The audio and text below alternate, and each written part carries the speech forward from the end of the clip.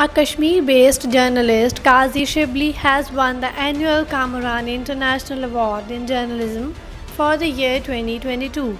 Qazi Shibli is a journalist from Kashmir's capital, Srinagar.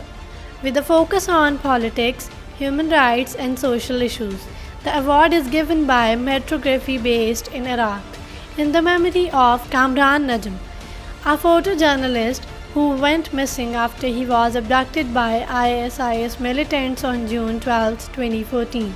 Shortly after he was wounded while covering the fighting between ISIS and Kurdish forces near Mullah Abdullah, Iraq.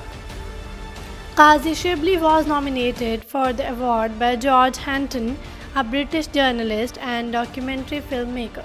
Asos Hardi, a Kurdish and Iraqi journalist, and Emily Garthwaite, a renowned British journalist, in April and on June 12, Qazi Shibli was declared the winner of the annual award.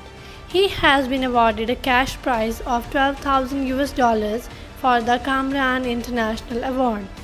Pertinently, Qazi Shibli was booked under the Public Safety Act in Kashmir after being summoned to a local police station after reporting on the preparations for the abrogation of Article 35A in 2019. He was again arrested in July 2020 after he reported a story on a fake encounter in Shopian. In his acceptance speech, Qazi Shibli said, As I go on with this acceptance speech, I think it's incumbent upon me to mention the names of my colleagues who currently languish in jails for reporting from Kashmir. He added, the first name would be that of Fahad Shah. He has been in jail for nearly four months now. Then there is Sajjad Gul, a young journalism student who was interning with the local media house before he was arrested for reporting.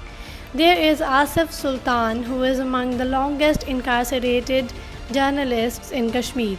And finally, there is Manan Dar, a young photojournalist who, who has been in jail since October 2021.